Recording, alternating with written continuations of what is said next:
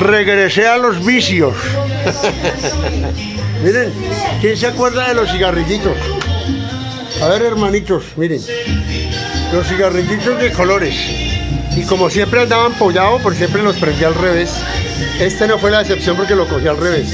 Entonces vayan pidiendo que ya les mando para Bogotá. Cigarrillitos.